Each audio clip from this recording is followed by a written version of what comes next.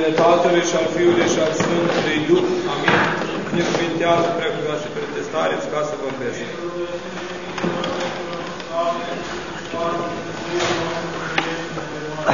Amin. Iubiți credincioși, iată astăzi Biserica Drept Măritoare îmbracă unul din praznicele împărătești, adică tăierea împrejur cea după trupa Domnului Dumnezeu și Mântuitorului nostru Iisus Hristos, încoronată de sărbătoarea anului nou sau sfârșitul anului calendaristic și Sfântul Vasile cel Mare, Arhiepiscopul Cezarei Capadocei, care s-a săvârșit la vârsta de 49 de ani, la 1 ianuarie aceste trei sărbători într-un singur mănunchi nu fac altceva decât să alcătuiască acel buchet duhovnicesc de bucurii și trăiri duhovnicești pe care noi oamenii le simțim sau le gustăm începând cu data de 25 decembrie, nașterea Mântuitorului, și le vom săvârși definitiv, adică le vom gusta definitiv cu 6 ianuarie, adică botezul Domnului sau Epifania sau arătarea la Iordan. Ca să ajungem la acest lucru, mai întâi și de toate, trebuie să înțelegem așa, din fugă și recapitulativ, că taina cea din veac ascunsă și de înger neștiută se împlinește odată cu sfințirea pântecelui fecioresc a Fecioarei Maria prin puterea Duhului Sfânt și cum spune Sfântul Maxim Mărturisitorul, mitrasul ei, prin voia ei și îngăduința ei și cuvințarea ei, se face scaun de heruvim, iar Mântuitorul Iisus Hristos se plăsmuiește din pântecele Fecioarei, cum spune și tropatul care s-a cântat la strană, cel ce de 8 zile după mamă și mai înainte de veci după tată. Deci se plăsmuiește ca logos, ca cuvânt întrupat, deci nu ca ființă. După ființă este Dumnezeu adevărat din Dumnezeu adevărat, născut mai înainte de toți vecii, lumină din lumină, cum spune simbolul credinței, de data aceasta vine și se naște omul Dumnezeu adevărat. Și de aceea și trăierea împrejur, praznicul de astăzi, are anume semne, sau dacă vreți, anume înconviințări pentru care a fost absolut necesară, dar Biserica nu o cinstește sub o formă deosebită, vorbind prea multe sau analizând prea multe, ci ceea ce rămâne esențial și necesar. În primul rând, primele picături de sânge care curg din trupul curat al Mântuitorului Iisus Hristos, fără de păcat, sunt primele picături de jerfă prin care El vine deșertându-se pe sine în pântecele Fecioare, apoi în scutecele ei, apoi în brațele ei, cum spune Colindu, învășat în scutec de bumbăcel și așa mai departe, hrănit la sânul Fecioarei, ferice de pântecele care te-a purtat și sânii care te-au alăptat, și mai mult decât atât, vine acum să șadă în fața arhiereului, cel plin de păcat, care trebuia să se curețe cu sânge de țap sau de berbec, și junghind două turturele sau doi porumbei, cum o să vedem și la arătarea celor 40 de zile, când va fi luat în brațe de dreptul Simeon, să se taie împrejur. Ce este această tăiere împrejur?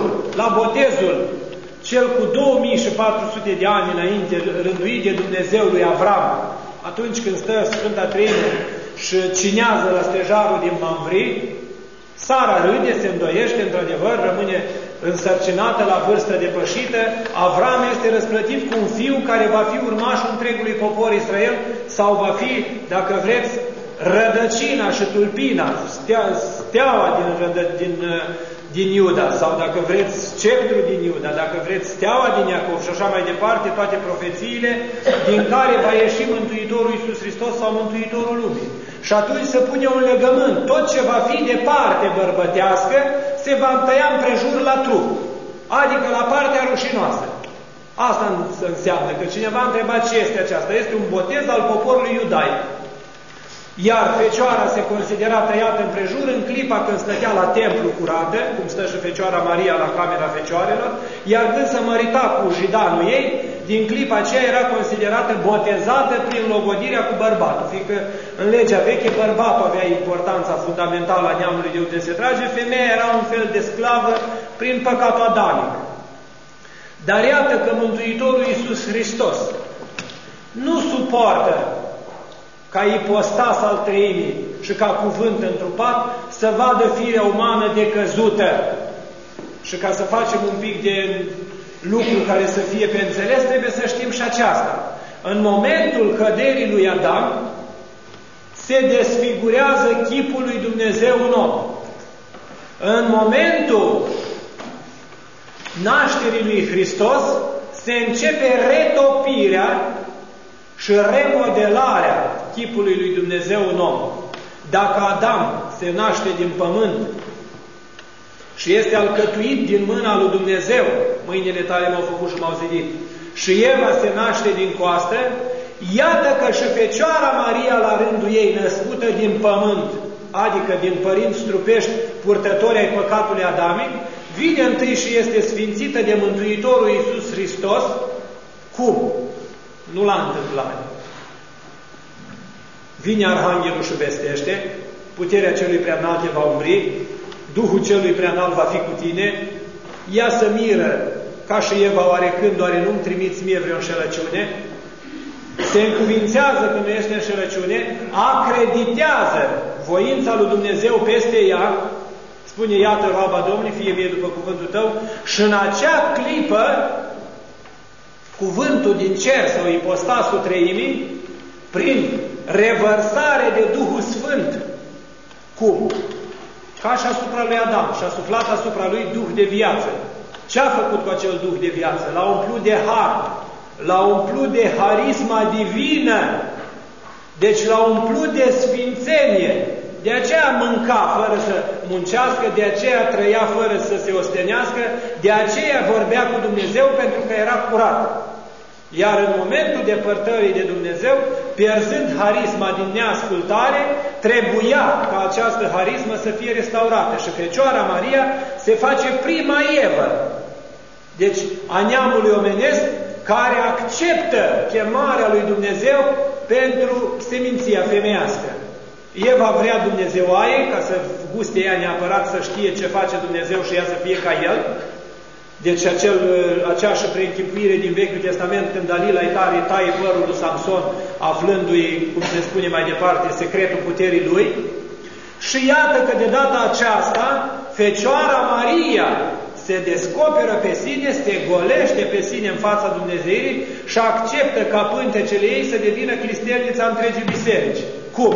Prin deșertarea cuvântului lui Dumnezeu, care își plăsmuiește din revărsarea totală a Duhului Sfânt.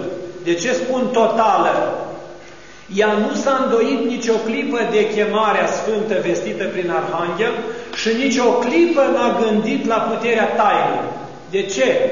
Pentru că nici noi când ne botezăm copiii mici, nu știm puterea tainei botezului. Cine nașul este cel care mărturisește, iar copilul este cel cu care se împlinește actul fără ca el să-și dea seama. Țâpă, urlă sau tace sau gângurește, neștiind de fapt taina în sine ce se petrece în el. Iată și Fecioara era copilă în fața tainei și totuși cuvânt, cuvântând spune, fie mie după cuvântul tău și în acea clipă, deci în acea clipă, pântecele ei se poleiește de Harul Duhului Sfânt devine mireasa Tatălui, se anihilează păcatul strămoșesc, este ca un botez al Fecioarei, se plăsmuiește Iisus Hristos, se naște Iisus Hristos care o sfințește pentru totdeauna și ca drept urmare acestei sfințiri ea nu mai moare, ci adorme, ea nu mai trece în putreziciune, ci este răpită sau se duce cu trupul la cer, mutatul de la viață fiind Maica vieții, și în acea clipă Iisus Hristos restaurează sau remodelează prin puterea Fecioarei și prin primul fundament, deci prima temelie, Fecioara este restabilită, dar el rămâne nu pentru Fecioară, ci pentru lume. Deci pentru lume șterge păcatul femeii ca să o pună în rând cu bărbatul, pentru că în Împărăția Lui Dumnezeu nu mai sunt bărbați și femei, și trece la următorul act, sfințirea lumii. Iată că nașterea lui Isus Hristos din Fecioara Maria este începutul a celei de-a doua creații. Eva, femeia dătătoare de viață scoasă din coasta lui Adam, prin puterea dumnezească, după o dignă, deci Ați văzut, și-a făcut Dumnezeu bărbat și femeie și le-a spus creșteți vă mulțiți, dar Eva vegeta în coasta lui Adam. Încă după facere arată, deci după ziua de odihnă arată cum Dumnezeu a făcut pe femeie inconștient și invoit de voința lui Adam. Nu l-a întrebat pe Adam dacă dorește acest lucru, ci Dumnezeu l-a făcut ca parteneriat de viață lui Adam pe Eva din voința lui binefăcătoare. Și cum spune Grigore de Nisa și Maxim Mărturisitorul, i-a creat nu să simtă plăcere senzuală, ci să simtă plăcere harică sau duhovnicească, despre care Sfinții Părinți înaintați în rugăciune înalte spun că aceea se cheamă extaz sau dulceață duhovnicească, adică răpire duhovnicească. Ei, Adam și Eva trăiau într-o permanentă stare de extaziere duhovnicească, de trăire înaltă. Erau încărcați de energia Duhului Sfânt care depășea energia de senzualitate a trupului, adică nu simțea plăcerea, pofta. Și atunci cei ce se nășteau din ei aveau să fie îngeri. Iar cei ce s-au născut după căderea lor sunt oameni. Sunt oameni. Deci nu mai sunt persoane, nu mai fac parte din harul divin, pentru că harul este pierdut, ci sunt persoane umane ce vor gusta moartea, ce vor gusta stricăciunea, putreziciunea și pântecele iadului.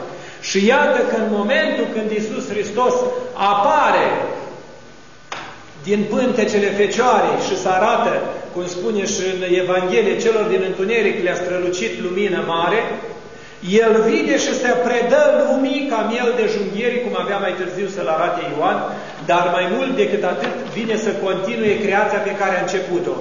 Adică Fecioara sau Eva, cea dătătoare de viață harică, revarsă primul fiu de har, care în același timp este și cuvântul Dumnezeu din veac, dar este și Logos întrupat și om adevărat, toate umplându-le cel ce ești necuprins, spune una din rugăciuni, acesta vine și să taie împrejur de mână de om, în primul rând ca copil, ca să arate că este slujitor lumii încă de la cre... deci încă de la deșertarea lui, apoi ca să împlinească legea lui Avram și să arate că n-a venit să strice legea și prorocii, cum spune la Matei, ci a venit ca să o împlinească, apoi ca să sfârșească cu tăierea împrejur cea sângeroasă care nu valora la nimic, și Ștefan, arhidiacon, ați văzut că le spune iudeilor, tar la cerbice, tăiați-ne împrejur la urechi și la simțuri și zice, tăiați-ne împrejur și la inimă. Și vine Apostolul Pavel și ne demonstrează că acea tăiere împrejura lui Isus Hristos este primul seceriș în voința dumnezească a patimilor de la rădăcină. Și vine Apostolul Pavel și spune o nouă tăiere împrejur, nu după trup, ci după ureche, ci după simț și după inimă, care vine să ne facă Fia lui Dumnezeu după har și nu după ființă. Vine să ne facă Fia lui Avram după credință și nu după trup. Și spune mai departe, el mai vine să se taie împrejur din prea multă dragoste dumnezeiască, dorind încă de prunc să-și verse sângele pentru neamul omenesc căzut în păcatul strămoșesc. Ce face? Pecetluiește în același timp botezul tăierii împrejur odată pentru totdeauna. Și iudeii și o parte din mahomedanii de astăzi, care au în amestecul lor din agareni o parte din simbolurile iudaice, se mai taie astăzi împrejur. Să taie împrejur la trup, dar nu sunt tăiați împrejur de ajuns la minte. Pentru că Evanghelia și prorocii au vestit întregii lumi și ei de acum vor fi luați la judecată după legea Harului, pentru că spune când se va propovădui Evanghelia la toată făptura, atunci va putea fi și plinirea vremii, să vină sfârșitul pe care Hristos l-a hărăzit, să fie toți o turmă și un păstor și o împărăție nestricăcioasă. Un alt lucru care trebuie să rămână important din taina acestui botez, trebuie să știm un singur lucru. Și până la botezul lui Hristos, și de la botezul lui Hristos, adică de la bobotează, cum se spune, Etapele se succed. În Vechiul Testament apare botezul trecerii prin Marea Roșie sau păcatul din, stră, din pământul egiptenesc, apoi apare, tăierea, apare potopul, tot ca și un botez ce spală păcatul și nu curăță de ajuns pe om, apoi apare acest botez al tăierii împrejur cu 2406 ani înainte de Hristos, cum arată cronografii, deci care îl face Avram pentru prima dată în legământ cu Dumnezeu, și apoi vine botezul cu apă și Duhul lui Dumnezeu domnea deasupra apelor, spune la facere. Iată că și Iisus Hristos intră în apa în care avea să se spele mai târziu orbul să vadă, în apa în care avea să se arunce slăbănogul de la scăldătoare, în apa în care avea să intre El și îi dă putere de restabilizare. Îi dă putere, cum se spune în termenul chimic, care ați, ați auzit la chimie, de reacție reversibilă și irreversibilă. Iată, o, o face reversibilă. Îi dă apei puterea cea din tâi să creeze prin puterea Duhului Sfânt un om nou. Și ați văzut că înainte de botez se fac trei etape pregătitoare.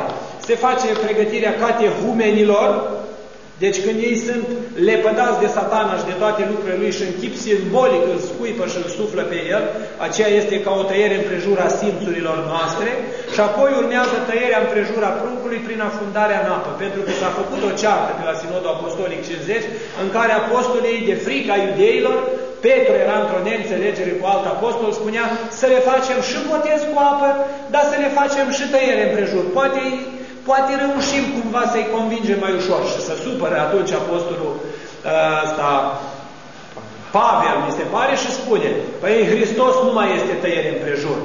Nu mai este nici elin, nici cit, nici rob, nici... Toți sunt una în Hristos. Tăierea împrejur după simțuri, nu după trup. Și se restabilește definitiv pe la anul 50 că acest lucru să nu se mai facă în epoca creștinismului, adică noua biserică venită să nască pe om din apă și din Duh. Apa îl înghite pe om, așa cum pământul înghite pe Adam în momentul izbănirii din rai, îl îngroapă, dar nu într-o moarte ca pe Adam, ci într-o omorâre duhovnicească, pe care noi am văzut-o cu ochii noștri atunci când e o taină călugărie. Moare Ioan și se naște Iacob. Moare Costache și se naște Constantin sau cine vrea să se nască după nume. Dar cum? El moare într-o clipă. Ei, și la botez la fel. Omul moare în clipa în care se atinge de apa cea plină de dar, despre care știți prea bine cum se spune, să piară toate puterile potrivnice sub semnul crucitare. Trimite însuși Duhul Tău cel Sfânt și sfințește și apa aceasta. Mare și Doamne minunate sunt pe cale. Iată că, iată că. De ce? Pentru ca acea apă duhovnicită, care a fost duhovnicită de Iisus Hristos, în primul rând la Iordan, când Ioan rămânea mirat, dar dacă el nu știa tainele, zice, cum e una ca aceasta? Eu am nevoie de botezul tău, tu lasă să se împlinească dreptatea și legea, nu facem acum dezbateri teologice. Și în momentul când intră în apă, sfințind apele, Iordanul s-a spăimântat și s-a întors înapoi. De ce s-a spăimântat? Pentru că în cursul Iordanului s-a simțit întreaga revărsare a Harului Divin, despre care Mântuitorul spunea încă o dată cândva. Cine s-a atins de haina mea că am simțit că iese putere? Ei, acea putere a ieșit din Mântuitorul Iisus Hristos și a făcut Iordanul simbol al renașterii creștine pentru toate viacurile și pentru toate neamurile. Pentru că de atunci toți ne naștem din apă și din Duh. Iar din Duh ne naștem în momentul acum, în epoca creștină, cu pecetluirea Sfântului și Marelui Mir, care este simbolul Duhului Sfânt, și știm că venea Duhul Sfânt și îl turna cu cornul prorocii peste împărați și așa mai departe și peste conducătorii poporului lui Israel, dar acum vine Duhul Sfânt și se revarsă asupra noastră prin binecuvântare. Deci nu prin tăiere împrejur, ci prin binecuvântare. Și binecuvântarea aceea este de sus în jos, de la Dumnezeu spre preot și de la preot spre creștin. De ce se pune atât de mult accent pe botezul creștin? Se pune accent pe botezul creștin pentru că botezul creștin întruchipează întreaga re, dacă vreți, redescoperire a voii lui Dumnezeu în oameni. Și cât de frumoasă este taina și explicită că doi oameni botezați în puterea Duhului Sfânt, la rândul lor, rămân cu urmarea păcatului adamic sub ce formă? Au moartea dar temporară, care e o trecere la viață la Hristos, dar au nașterea trupească din plăcere despre care David spune într-o păcate și fără de legi m-a născut Maica mea atunci când se culcă soțul cu soția, dar cum?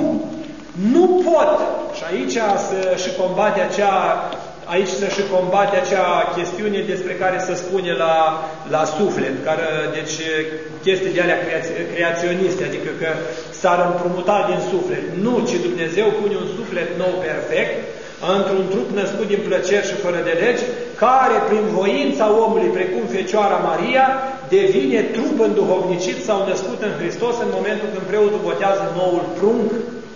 Deci sufletul lui este deocamdată suflet trupesc, iar în clipa când acesta se botează și se umple de Duhul Sfânt, devine un suflet înduhovnicit. Și spune Părintele Stăniloae, este atât de adâncă zice, și atât de neînțeleasă atingerea sufletului de Duh, adică de darul lui Dumnezeu, încât uneori numai cuvântul Scripturii poate să pătrundă până la desprinderea sufletului de trup și a Duhului de suflet. Adică numai Dumnezeu face această despicătură. Spune la Corinteni, să citește la Apostol. Mergând mai departe, Sfântul Maxim Mărturisitorul tâlcuiește această tăiere împrejur și acest botez cu apă și botezul creștin de Duh Sfânt cu foc prin urcușul duhovnicesc pe care îl găsiți în Filocalea 3 și nu stăm să-l punem aici.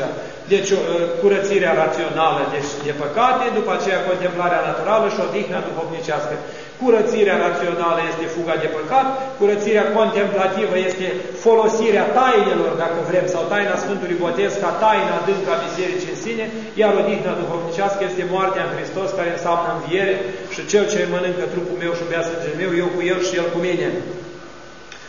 Mai sunt acele botezuri de lacrimi, care uneori pot fi fățarnice, cum ne arată învățătura creștină ortodoxă, adică ne pocăim fățarnic pentru moment, ne tăiem împrejur intrând la spovedanie și ieșind înapoi ne coasem, apoi este botezul cu sânge sau mucenicesc, un botez extraordinar pe care Biserica creștină și-a pus întreaga temelie a creștinătății, sângele martirilor, sămânța creștinilor și mai este botezul apocaliptic, nu bombele lui Saddam Hussein, ci cum arată toți Sfinții Părinți, pentru că omul e tentat întotdeauna să-și facă o apocalipsă personală, atunci când Dumnezeu va lua lumina soarelui și o va trimite dreptilor în slava lui Dumnezeu, acolo unde este locul celor drepți de-a dreapta, iar fierbințeala acelui foc întunecos, care nu e decât mânia și nesfârșita durerea lui Dumnezeu pentru cei ce s-au depărtat de El și sunt chipul și asemănarea Lui, dar stâlcite, alterate, murdărite și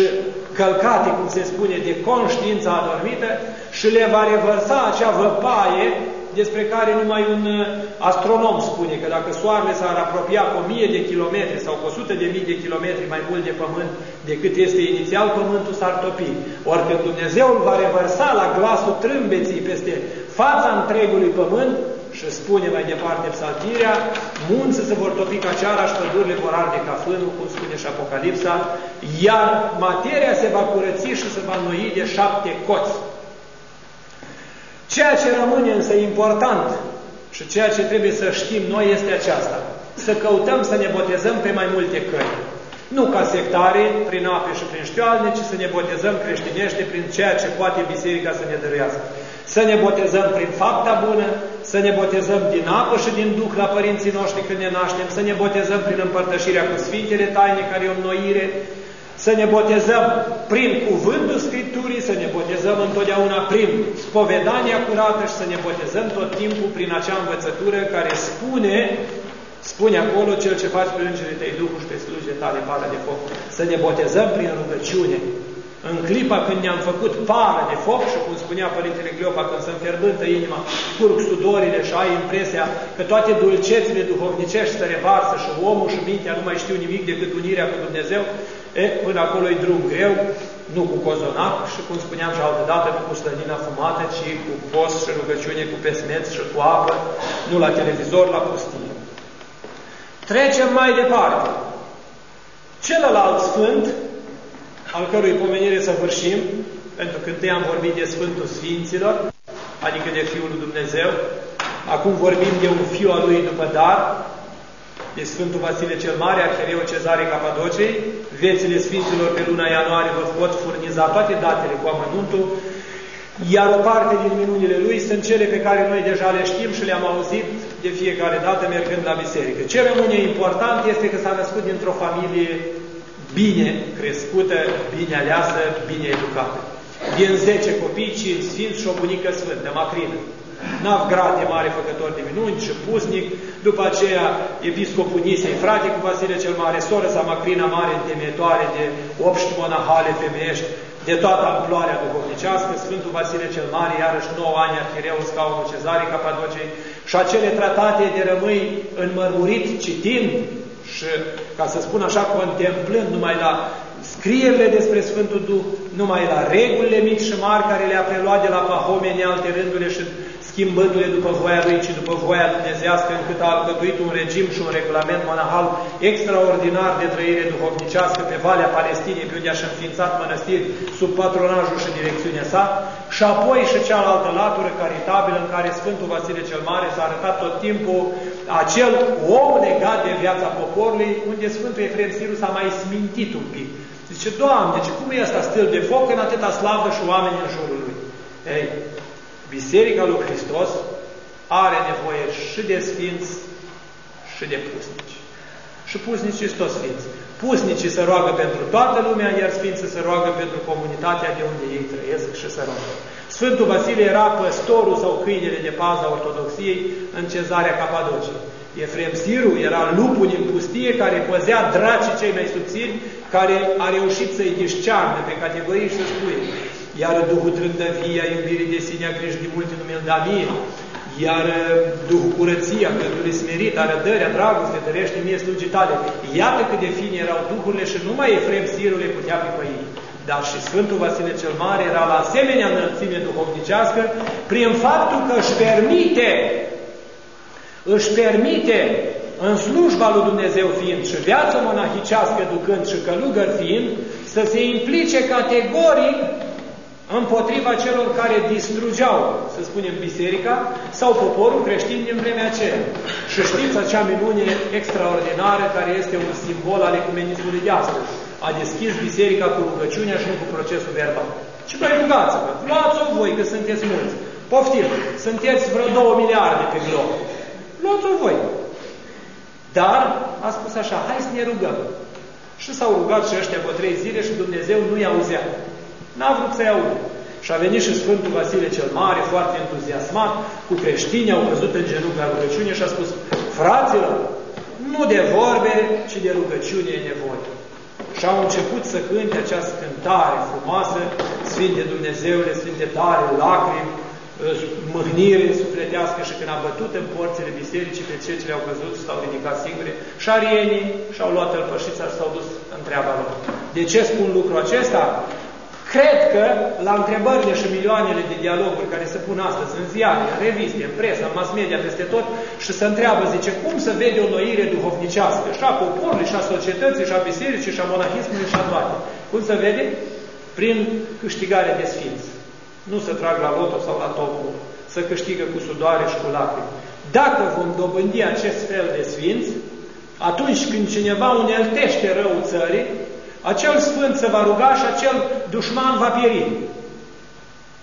Dacă nu avem de aceea, facem răbdare spre rușinea noastră. Dacă veți ști cum să fiți, 5 vor birui 100 și 10 vor birui 100 de mii. Dacă nu, asta este căderea.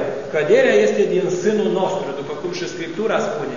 Când va fi locul și urăciunea pustirii în locul cel sfânt, și zice că sfârșitul sau judecata va veni de la casa lui Dumnezeu, adică de la nerespectarea tainelor, de la nerespectarea regulilor creștine, de, de, de la nerespectarea moravurilor creștine. Și a tot ce poate biserica să dăruiască ca mamă iubitoare fiilor ei duhovnicești, indiferent de înălțimea sau statura funcției în care sunt, deci nu poate altceva decât să vină focul lui Dumnezeu, care e botezul cel mai neașteptat de noi, adică nu ne-l dorim. La un moment dat, Sfântul Vasile cel Mare constată că este nevoie și de rugăciune, dar constată că este nevoie și de ajutorul material. Și face acele frumoase vasiliade sau spitale de bătrâni, ă, case de caritate, să îngrijește de sărăcia poporului, de sărăcia oamenilor, să îngrijește de lipsurile și de boalele lor și în același timp și de neputințele lor. Niciun sfânt nu poate să aibă mai frumoasă și mai autentică chemare spre pocăința omului decât el care mort în sicriu, în timp ce femeia păcătoasă striga cu răvașul înfășurat de păcate în urma lui, zice, Vasile, n-am știut că Sfinții spun minciuni, cum mă trimis tu în pustie la Efrem Siru să mergi de păcatul când tu ca arhiereu trebuia să o faci? Iar preoții care duceau cortegiul de mormântare spune, deschide, domnule, vezi ce scrie acolo, ce tot să supără femeia aceea, ce păcat a făcut și răvaș era alb. Deci Dumnezeu îi sterșese păcatul de pe zapisul pământesc, așa că cu atât mai mult era trecut și șters din cel ceresc. Sau și acea minune frumoasă, ca să promiți unui evreu că îl încreștinezi, să învii și să-l încreștinezi și apoi să te culci din nou și să dormi somnul de veci ca fica lui Spiridon Irina, care se scoală și spune ia cheița de sub uh, piciorul patului. Sau, ca să nu mai vorbim, alte zeci și zeci de minuni. Sau una din nou foarte frumoasă și întâlnită în viața Sfântului Vasile, extraordinară ca fundament, deci ce înseamnă curățenia și fecioria, fratele său, pe, uh, fratele său Petru, episcopul Sevastei, mi se pare, era învinuit de desfrânare, el fusese căsătorit și să hotărâse ca episcopii să nu mai fie căsătoriți ca să nu înstrăineze la neamuri averea bisericii sau la copiii lor. Și atunci cineva a tăgăduit că în taina acest episcop ar mai trăi cu soția lui. Vasile îl mustră foarte crunt și foarte aspru în întâlnirea cu el și acesta îi spune, fratele meu, știi ce te rog? Uite, zice, noaptea asta să stăm să priveghem în biserică. Iar la vremea Sfintei Liturghii, liturghii la Heruvic, Petru al Sebaste își pune un foraș de jărate, că n-aveau căltuni cu sulf ca acum, în poalele felonului, pune tămâie și tămâiază toată biserica, apoi îl scutură frumos, fără ca să se ardă. Deci fecioria despre care Maica Domnului a biruit cu ea, puterea satanii, fecioria cu care Maica Domnului a luat încrederea definitivă a lui Dumnezeu, fecioria cu care a dăruit lumii pe cel ud născut și cuvânt întrupat, fecioria care, despre care se spune că este podoaba bisericii și fecioria care este de fapt izgonitoarea tuturor dracilor, cum spunea Antonie, lui satană. Și mai vezi că ești prost mic și nevoinic, stai în banca ta, ce mă necăjești? Și dracul să schiona ca un copil spunând, pe câți am amăgit și numai pe tine nu te pot, zice, gâdila la simțuri. Nu putea gâdila că era în contemplare. Deci harul depășea senzațiile pământești. Mergând mai departe, să spune că venind vremea sfârșitului Sfintei Liturghii, la prefacerea celor Sfinte, deasupra bisericii, într-o viziune frumoasă, apar două paturi încoronate cu flori de crin, adică simbolul curăției, pe care unul scria Petru și pe unul numele soției. Deci ca să vadă lumea și cei care erau culitori, că într-adevăr episcopul era episcop, deci nu se juca de episcopia. Deci era omul acela serios care își luase în serios datoria acelui har prea înalt al plinătății lui Hristos. Ce rămâne însă important din viața Sfântului Vasile, nu că a trecut pe pământ, nu că a existat între noi, nu că l-a avut biserica, ci a lăsat o disciplină moral-canonică în biserică peste care noi nu putem trece când și cum vrem. Uh, e adevărat. E greu să te canonisești.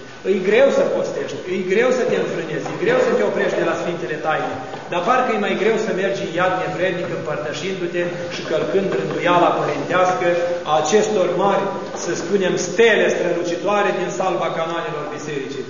Nimeni nu o să poată vreodată să-l conteste pe Ioan Pusticu sau pe Vasile cel Mare sau pe Grigore de Nisa sau și acelor șapte sinoade care au rânduit canoane, adică de pocăință în biserică a omului ca să nu transformăm biserica, ca să spunem așa, într-un bânci.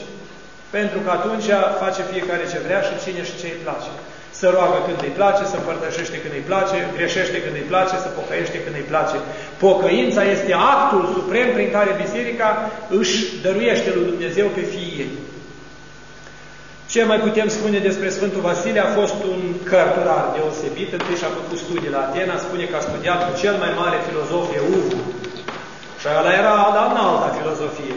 Sfântul Vasile, care gustase de acum pe, pe Valea Palestinei viața monahicească, este întrebat să-i spună, zice, care e cea mai mare filozofie, o Vasile? Și acesta, poate spun eu, ori Sfântul Ioan Gură de Aur insuflat din scrierile lui, ori poate și el din vreme fiind tot în secolul 3 și ceva viețuitori început, deci prima jumătate a secolului 4. Iată că spune așa, zice, cea mai mare cugetare sub soare este să vezi pururea moartea înaintea Adică zidul morții ne desparte de zidul păcatului. Aduți aminte de cele de pe urmă și în veac nu vei greși. Văzut am pe Domnul de dreapta, în veac să nu mă clate, că de-a stânga e zidul morții. De ce spun lucrul acesta? Noi fugim de ea, dar totuși vine. Noi ne depărtăm de ea și ne înspăimântăm și ea totuși ne iubește. De ce ne iubește? Că nu ne lasă să chinuim. Atunci când cele mai grozave boli și mai cumplite macină pe om, în acea suferință, el nu spune, Doamne, dăm să trăiesc. Zice, ori fă sănătos, ori mai bine ia ca să mor. Ei, închipuiți-vă ce calvar ar fi pe pământ la omul căzut și păcătos dacă n-ar exista moarte.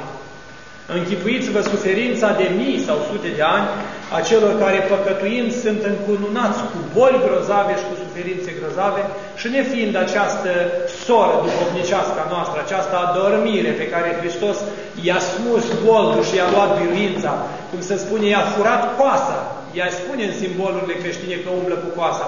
Nu mai umblă cu coasa, umblă cu ciocanelul, nu mai atenționează. Coasa e în mâna lui Hristos, El i-a luat-o. De ce? Pentru că prin moarte se trece la viață. Și un mare filozof spunea, după moarte se pune virgulă. Adică dacă e moarte, nu e nimic. Dacă e moarte și urmează viața, e totul. Că Ioan Damaschin așa a spus. Viața este arvuna celui ce a înviat întâi începătura celor adormite. Că dacă în Hristos n-ar fi înviat, credința ar fi zadară.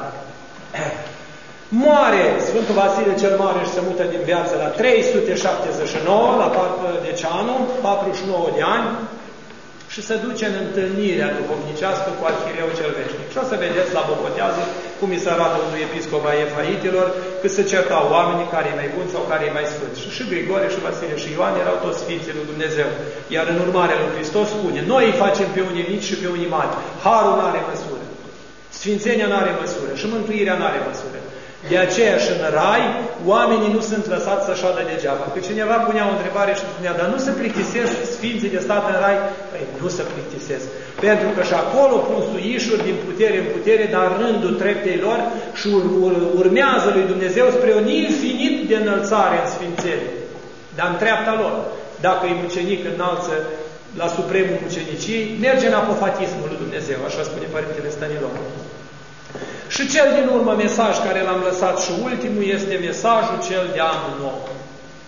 Mesajul acesta lumesc pe care noi l-am încoronat cu la mulți ani, cu mâncare, cu șampanie, să rămână un mesaj pământesc de care noi ne lepădăm foarte ușor și nu mai avem nevoie. Adică ce se întâmplă? Ori ne dorim noi mulți ani, ori ne dorim, dorim puțin, Dumnezeu rânduiește ce e scris în Cartea Vieții. Ori ne dorim noi multă mâncare și băutură, Apostolul Pavel vine și spune nu vă îmbătați de vin că este desfrânare, și spune, zice, iarăși Sfântul Vasile cel Mare, mâncare mult încețoșează mintea și slăbește sufletul. Adică îl dă la păcate.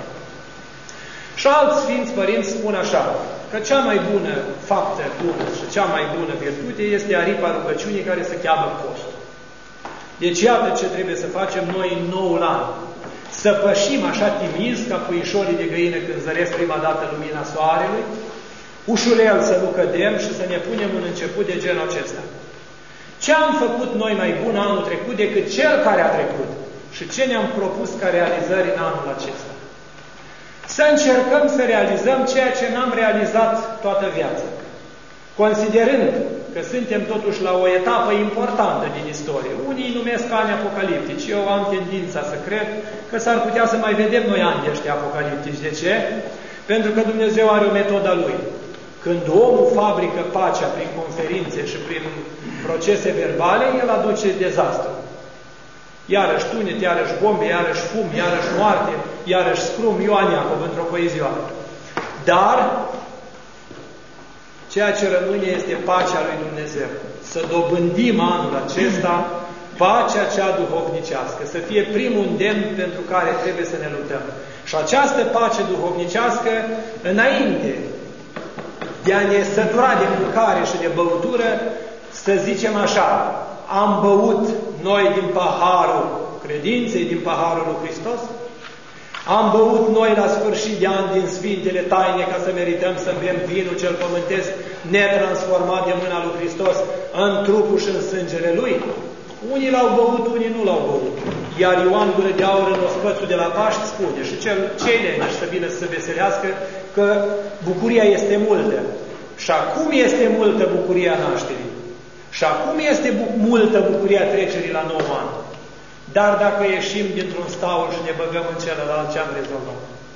Să căutăm să ieșim din staulul dobitocesc, unde îl abureau dobitoacele pe Hristos și să închinau ca animale lui, și să ne aducem aminte de pusnicul din Pateric care spunea dacă și animalele se supun Creatorului, are omul cu cât mai mult. Și să ne facem acele dobitoace duhovnicești care preînchipuiau heruvimii și serafimii și îngerii, cum spun colinde.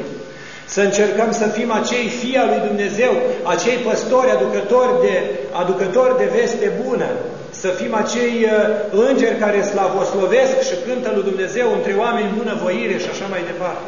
Deci ăsta e primul mesaj de anul nou. Să căutăm să le pădăm tot ce este în omul cel vechi. Adică ce este în omul cel vechi? Goana după agonisială strâmbă, goana după ceartă, goana după scandal, goana după neînțelegeri, goana după adunătură, goana după alergătură. Deci știm noi oamenii cu ce ne ocupăm în fiecare zi și cât de mult uităm de Dumnezeu și cât de puțin ne gândim la El într-o zi din 24 de ore, pentru că îmi spunea cineva, Părinte, nu mai am timp. Dar ăștia 60 de ani care ai acum, de unde ai luat? Din când ți-ai cumpărat? De unde ai avut arvoniță? Păi nu, că atât a dat Dumnezeu. Și dacă timpul e al Dumnezeu, cum nu mai ai tu timp? I-ai cerut și nu ți-a dat? Păi nu i-am cerut, că nu prea m-am rugat. Ei, să căutăm să ne prea rugăm. Să căutăm să punem genunchiul la rugăciune și cum spunea un Sfânt Părinte, mintea să fie preot, trupul să fie jertfa, iar inima și sufletul să fie jertfelnicul. Adică să jertfim pe altarul inimii lucrările minții cu voința trupului. Să încercăm să supunem această carne otrăvitoare, acest hoit, acest târf care ne împinge numai la rele și la nimica bun niciodată, foarte rar când se dă la fapta bună, așa ca bătut de bici, și să-L îndumnezeim prin acele câteva linguri de împărtășani, să-L facem Fiul lui Dumnezeu prin câteva spovedani, să-L facem uh, staul duhovnicesc prin câteva păreri de rău, să-L facem casă de rugăciune prin câteva rugăciuni, să-L facem cămară împodobită cu îmbrăcăminte în care să poată intra Hristos prin câteva umilințe, și așa, ușor, ușor, prin literatură patristică, să-L cultivăm spre pășunea cea duhovnicească a turmei tale celei prealese. Așa spune acolo, dumă la pășunea cea duhovnicească. Ori acea pășune duhovnicească nu vine la noi, ci trebuie să mergem noi la ea. N-a venit Duhul Sfânt să o caute pe Fecioara prin lume, ci Fecioara a ieșit din lume și s-a dus spre Duhul Sfânt. N-a venit Iisus Hristos să se nască în palatul lui Crăciun după tradiție, ci a venit să se nască în ieslea boilor, să arate că prea umilit și prea sărac și prea smerit a venit să arate lumii întregi că nu bogăția triumfătoare materială este cea care aduce bucuria sufletească. Mulți sunt triști că nu au bani, mulți sunt triști că nu au case, mulți sunt triști că n-au averi, că n-au realizări, dar mulți sunt triști că nu-L cunosc pe Dumnezeu. Și această tristețe a lipsei de Dumnezeu se simte în inima omului atunci când stai cu El și îi descurajat de toate. N-are nici chef de muncă, n-are nici chef de viață, n-are nici chef de împlinire duhovnicească sau sufletească, ci cade în acea deznădejde nepăsătoare care îi spune lui în minte, Ei, și așa te zbați degeaba că nu vezi că nu se poate face nimic. Când vrea omul, toate se pot face. Când vrea omul, și spune mai departe acolo Scriptura, cere și să, să va da. Unii, într-adevăr, că își doresc acel principiu, stau în genunchi și mă rog și de acum aștept să împice. Carne în frigider, pâine în dulap, cartofi în beci, sarmale în oală. Nu! Le vei primi prin binecuvântare. Dumnezeu va spori lucrul tău. De aceea cărțile, cărțile de poezii creștine spune totdeauna lucrul tău să-l începi cu Dumnezeu. Pentru că atunci când noi lucrăm în sărbători, atunci, uite numai o singură comparație. Cad creștinii, cad ca niște spice de securi loviți. O sărbătoare atât de importantă și de frumoasă cu o biserică goală. Nu pentru bani, nu pentru pomelnic, nu pentru lumânare. Pentru acel suflet care astăzi a întâmpinat anul nou. Pentru acel suflet care astăzi s-a tăiat împrejur la simțuri. Cred că s-o fi spart sticla și tăiat la gură de la băutură. Dar nu-i tăiat la simțurile duhovnicești, că clocotește în el mustul vinului, clocotește în el mirosul dat în putrefacția mâncării de acum. Pentru că stomacele sunt pline de aseară până astăzi și unele dau pe afară. Ei, iată trăirea duhovnicească în ortodoxie. Deci, iată pentru ce Hristos să scârbește cu fața de la noi, că spunea oamenii în îndreptarul de spovedanie. Zice, am căzut în deznădejde zicând că Dumnezeu ne-a dat uitări. Și eu mai râd când citesc acel păcat și zic, uite-mă cum Dumnezeu ne-a dat uitări. Dar n-a văzut omul o leacă în dreptul lui că și el l-a dat uitări pe Dumnezeu. Dar când fumezi, îți aduce aminte de Dumnezeu? Dacă când desfrânezi, îți aduce aminte de Dumnezeu? Dacă când înjuri, îți aduce aminte de Dumnezeu? Dacă când nu te rogi de Dumnezeu, îți aduce aminte? Ia să ne uităm atunci când lucrăm viciu. Îl lucrăm pentru Dumnezeu? Nu. În tot locul stăpânirii Lui binecuvintează sufletul meu pe Domnul. Fumând îl binecuvântăm. Curvind îl binecuvântăm. Destrăbălându-ne îl binecuvântăm. De ce? Pentru că așa ni se pare noua slujire. Căsuindu-se Moise să ia tablele legii, poporul și-a făcut vițel de aur. Suindu-se Iisus Hristos la Tatăl să ne pregătească locul, cum a spus la înălțare, mă duc să vă gătesc vouă împărăția lumii cea mai înainte de veci pregătită. Împărăția Tatălui meu unde multe locașuri sunt. El stă acolo și se zbate și împarte raiul cu milostivire pentru noi păcătoșii, iar noi de pe pământ stăm în așteptarea raiului mâncând, bând și chefuind. Deci iată ce îl deranjează pe Dumnezeu. El este prunc mic și ștaie împrejur trupul, iar noi suntem prunci mari și ne tăiem împrejur lene. Deci, vezi, e o mare diferență. Ar trebui ca în noul an în care am pășit să ne facem patru lucruri esențiale și de bază. Adică să ne le punem ca directivă. Directiva cea din tâi să fie sporirea în dreapta credință. Sporirea dreapta credință să fie pe două căi. Prin mărturisirea curată a dreptei credințe, adică fără de rușine, și iarăși amintesc că cineva a spus odată, zice, Părinte, spuneți tot felul de lucruri, dar zice lucruri mărunte, nu spuneți la nimeni. Astăzi vă spun un lucru mărunt, sporirea în dreapta credință. Să nu mai întreb la spovedanie dacă lângă o biserică trebuie să-ți faci cruce cu limba, că de nu mă mărturisești înaintea oamenilor, nu te mărturisesc înaintea Tatălui, spune Hristos.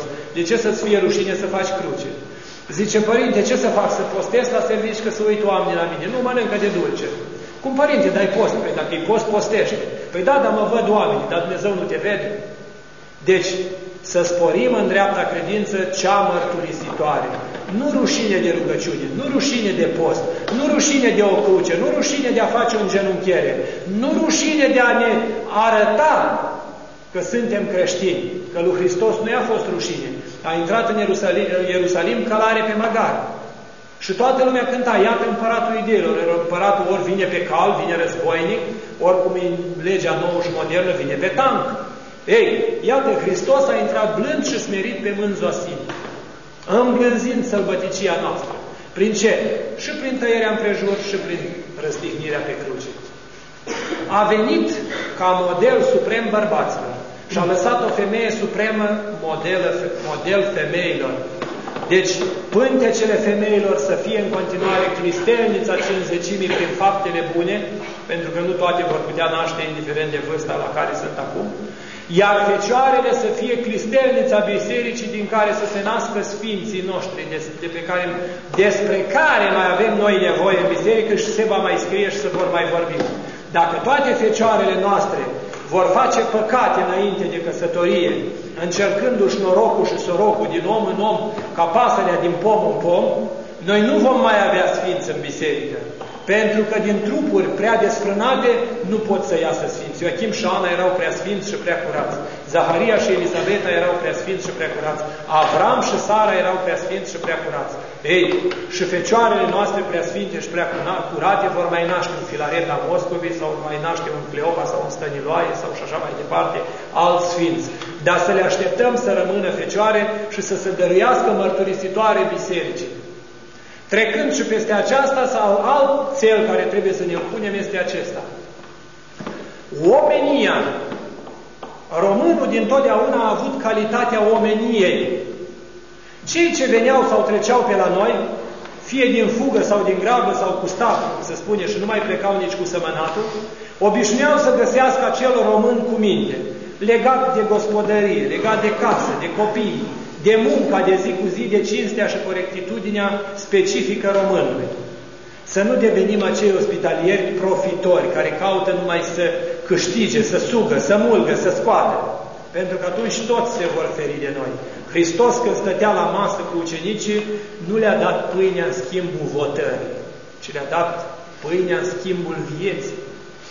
Luați, acesta e trupul meu, acesta e sângele meu, care pentru voi și pentru mulți se varsă și să frânge spre iertarea păcatelor. Și aceasta să o faceți într-o pomenirea mea, că cel ce bea trupul meu, cel ce bea sângele meu și mănâncă trupul meu, eu sunt pentru el și el într mine și viață veșnică va moșteni.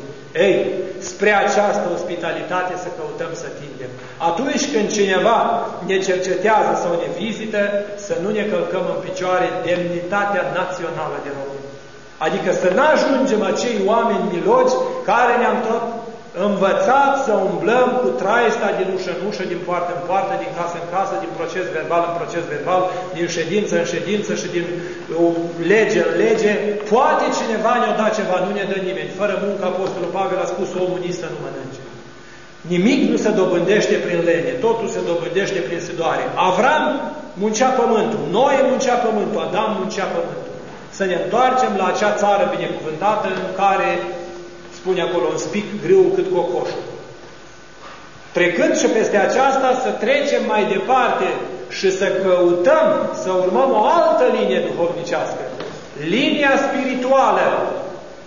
Linia spirituală a poporului român este aceasta. Cruce, biserică, sabie și neam. Crucea este cea din tâi armă împotriva tuturor dracilor, și văzuți și de văzuți. Să nu ne lepădăm de ea, cum au făcut-o mulți din frații noștri, rușinându-se de dânsa. Hristos o sfințește și ei o ponegresc. Hristos o face strălucitoare și ei o urgisesc. Pentru că El ne-a dat o nouă armă împotriva tuturor diavolilor să nu ne repădăm de biserică și să punem mâna pe letopisețe și pe cronici și să citim, să vedem ce au făcut domnitorii noștri. Să vedem ce au făcut moșii și strămoșii noștri, ca nu cumva să ne trezim la judecată, nu judecați de Maria Egipteană. Cu o desfrânare să iartă, ai văzut, plângi și te înalți un metru de la rugăciune de la pământ. Un avort să iartă, că botezi un copil și plângi și te căiești și Dumnezeu te iartă. Dar distrucția sufletească a neamului românesc are în sângele ei plămădit așa ca în Iisus Hristos. Iisus Hristos era și om adevărat și Dumnezeu adevărat. Ei, românul e și om adevărat, dar și creștin adevărat. Și vom da răspuns de acest titlu. Vom da răspuns apostolului Andrei și tuturor sfinților de după el, trăiți și formați și plămădiți și îngropați în pământul românesc, că ne-am dezis și ne-am rușinat și ne-am luat pălpăștița fiecare și am șters-o care și pe unde să ne îmbogățim, numai de dragul de a nu sta în țara noastră. Numai de dragul de a ne fi rușine de această țară frumoasă, sfântă, curată și bogată. Deci, s-ar putea că păcatul național, nu naționalismul șovinism, pe mine nu mă interesează cine stă în România, n-are decât să șadă sănătos, că nu ne stă în cap sau în spate, ci acel naționalism pur. De ce să umplu ecranul televizorului cu muzici străine? Pe când pot să-l umplu cu slujbe religioase. De ce să umplu ecranul televizorului cu filme pornografice, când pot să dau filme istorice? De ce trebuie să umpli societatea de mizerie și de ocultism și de prostie, de aceasta trupească și neroadă a minții slabe, care, depărtată de Dumnezeu, simte numai senzația și Duhul nu-l mai are, și să nu umpli și mass media și ziarul și toate de lucruri frumoase, civilizate, atâta literatură patristică, atâta literatură laică și culturală, atâta scriere, atâta cuvânt, atâta sfat din vechime, că de 2000 de ani de când stau aici daci și romani și am ieșit noi din ei, a tot fost vremuri și vremuri și pilde și înțelepciuni și putare. De ce să vină alții și să-și desfacă cultura la noi. De ce să vină altul să mă învețe cum să mă rog pe stadion când eu am biserica? De ce trebuie să vină altul să mă învețe că nu-i bună crucea când eu m-am născut cu ea și m-am botezat cu ea? De ce trebuie să vină altul și să-mi spună mie, și asta e cea mai mare rușine, despre care cu prilejul anului nou trebuie să știți, chiar dacă sunt numai o mână, vor să mai spună încă la 10 și încă la 10 și să audă toți. Este cea mai mare rușine la ora actuală, cum spunea cineva, ce mi rușine să spun că sunt român. Nu trebuie să-ți fie rușine. Trebuie să-ți fie rușine că n-ai fapte de român. Trebuie să-ți fie rușine că nu mai ai acele aptitudini pe care le-a avut românul. Că nu mai ai acele aptitudini pe care le-au avut mamele românce. Că nu mai ai acele aptitudini legate de natură. Românul a fost dintotdeauna un contemplativ. Codru, muntele, apa, izvorul. N-a spus foaie, foaie verde New York, a spus foaie verde iarbă N-a spus foaie verde Budapest, a spus foaie verde Busuioc. Ei, aceste lucruri trebuie păstrate și duse pe mai departe. Nu porcăriile și măscăriciunile care se fac de anul nou și tot ce vedeți voi, tobe, draci, țânțari, armăsari, boi, vaci, în tot felul se preschimbă, dar într-un sfânt nu se face nimic. Nu caută nimeni să emite pe Sfântul Vasile, vreun înger păzitor, vreo, vreun, test, vreun text ceva cu Avram, cu Noe, cu Lot despre păcat, nimic, numai porcării păgânești. Ce frumos este de deprins pe acestea. Deci, vezi, acestea sunt dezicerile noastre care cu anul nou noi trebuie să le repădăm, nu să le încurajăm. Plugușorul românesc e tradițional, adică omul începe nou an cu muncă. Dar dincolo de plugușor, toate celelalte măscăriciuni la cui folosesc? Iată încă o judecată în plus, că spune, zice, tot timpul folosit în deșert vom da seama de Și cea din urmă și cea din urmă legată numai și numai de suflet, cum spunea și Părintele Cleopa, toate bune pe fața pământului, dar niciuna nu-i căptitoria sufletului. Să căutăm să ctitorim sufletul nostru și să îl dăruim lui Dumnezeu. Lot stătea în Sodoma și Gomora și lucra dreptatea lui Dumnezeu. Iosif cel prea frumos stătea în Egipt și lucra dreptatea lui Dumnezeu. Când a pus mâna pe el, femeia lui Putifar, a zvârlit haina și a plecat. Să ne facem următori și pilda acelui neam din care ne trăgem, floare din rădăcina lui Esei, neam din neamul lui David, speță din neamul lui Avram, sângea lui Avram, sângea lui Adam și să ajungem până acolo unde trebuie să fim sânge din sângele lui Hristos, carne din carnea lui Hristos, pâine din pâinea lui Hristos și trup din trupul lui Hristos. Că ce este biserica? Totalitatea creștinilor botezați în numele Sfintei Trăimi, care au cap al bisericii pe Hristos. Ori acest Hristos trebuie întregit și nu golit. Acest Hristos nu trebuie văduvit, pentru că se va da socoteală nu de păcate, ci de sângele vărsat în deșert. Oare îți închipui cu o mamă când îi cumpără unui copil un lucru frumos și îl strică? Îl bate că a stricat lucru sau că nu l-a prețuit? Pentru că un alt lucru de genul ăla se va mai găsi. Dar să vede lipsa de bun simț sau de educație față de acel lucru făcut. Și dacă un lucru pământesc nu-l distrugem, o mașină, o casă, o haină, o bluză, o geantă, o pălărie, oare cu cât mai mult putem să distrugem darul cel mai de preț, Iisus Hristos? Da, unii spun, zice, da, eu nu mă împărtășesc, da, și ce, mie îmi dai aghiazmă mare. Știi, parcă aghiazmă mare să facem troacă la porci, nu-i tot cu Duhul Sfânt. Nu întâi s-a tăiat împrejur și apoi a intrat în Iordan. Nu întâi a ajuns la Golgota și apoi s-a înălțat. Nu întâi s-a suit pe tabor și apoi a intrat în Ierusalim. Da, dăm aghiazmă. Știi, aghiazmă e un fel de lătură a bisericii, stă într-un butoi și bea cine vrea și se folosește de ea cine poate. Toate sunt sfințite și toate sunt curate celor curați și se sfințesc prin cuvânt Dumnezeu și prin binecuvântare, spune Apostolul Pavel. De aceea noul an să ne găsească cu gândul spre mai bine. Pentru că dacă vom fi români, dacă vom fi credincioși, dacă vom fi cinstiți și dacă vom fi evlavioși, vom putea să dăruim societății ce? O generație de mâine care să înlocuiască veriga cea ruginită și imperfectă a greșelii omenești, a imperfecțiunii și să se clădească acea societate a perfecțiunii spre care noi tindem. N-ai cum să faci cu lucruri imperfecte lucruri perfecte. Așa cum un aparat nu merge cu o piesă arsă sau schimbată și pusă de altfel. Îi iei un condensator și îi pui un tranzistor, sau îi iei o lampă și îi pui un bec. Ei, la fel se întâmplă și în biserică și în societate. Nu o să poată să meargă biserica cu creștini păcătoși la minus infinit. N-are ce face cu ei. Porci întorcându-se, te rup. Câini aruncându-le mărgăritarele, le vomită. Deci, Scriptura spune, nu că cineva vă ocărăște, ci ăsta e sensul biblic. Atunci când omul rămâne în patimă, degeaba îi vorbești de Isus Hristos. Atunci când pe om îl împărtășești cu nevrednicie, degeaba îl împărtășești.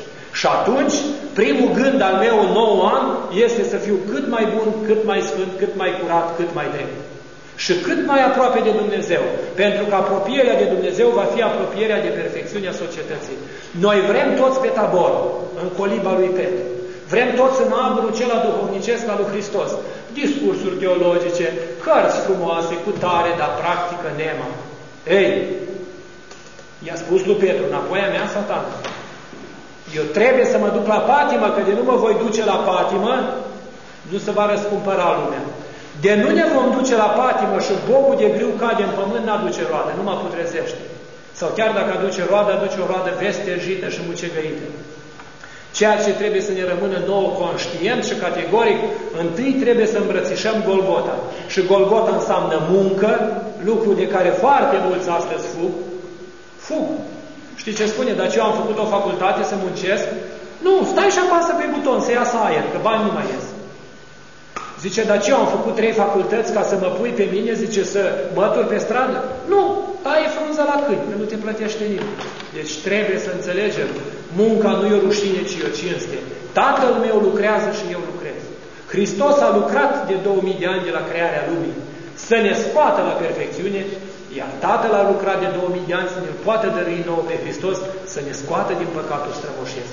Deci gândiți-vă câți proroci, câte griji, câte războaie, câte probleme, câte cutare și cutare și prorocii și împliniri și oameni născuți și puși acolo și gândiți de Dumnezeu toate în cartea Lui, ca să iasă spre binele neamului omenesc. Iar neamul omenesc cu ce îi răsplătește? Intrând cu topoare și cu săcuri, au stricat jerfelnicul cel sfânt al Lui. Citiți în Catisma 11. Și au zis, vom sfârma toate praznicele Lui de pe pământ și vom întreba cine ne este nou Domn. Cine ne este nou Domn? Cine ne este nou Domn? Domnul Dumnezeului Israel, minunatul Dumnezeu într Sfinții Săi. Tu ești Dumnezeu care le faci minuni. Și că cine e mai mare ca Dumnezeu nostru? Spune Prochimeanu. Deci acolo trebuie să ajungem. Să gândim că Dumnezeu poate să șteargă lumea de pe pământ, dar niciodată lumea nu se poate să-L șteargă pe Dumnezeu.